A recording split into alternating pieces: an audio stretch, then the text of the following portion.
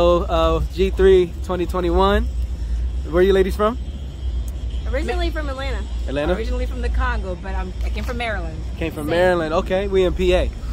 And so, so yeah, so this conference was about Christ. Um, we had a strong emphasis on Christ, and uh, we had a bunch of sessions. I think 16 sessions, all about Christ.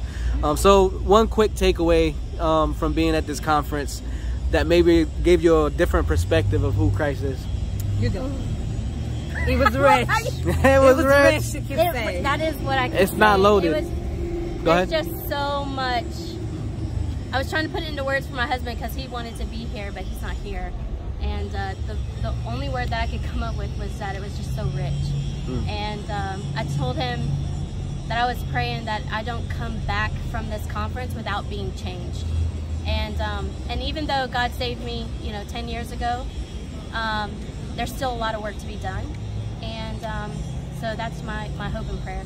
Yeah. How about you? As for me, I would say one thing I remember is at least from today because my memory is not that great. I have to sit and watch my notes, look, look at my notes again. But one thing I learned is that um, without Christ, is, without Christ is no truth. So because Christ is truth, hmm and without peace, without without peace, there is no there's no truth without peace, and there's no peace without Christ, and Christ is peace. Hmm. So It all kind of goes together, doesn't there it? There you go. And then with him we have joy. So Mm-hmm. he's our joy, he's our peace, he's our, our everything. So that's Nice. what I would say. I learned today and I can't forget.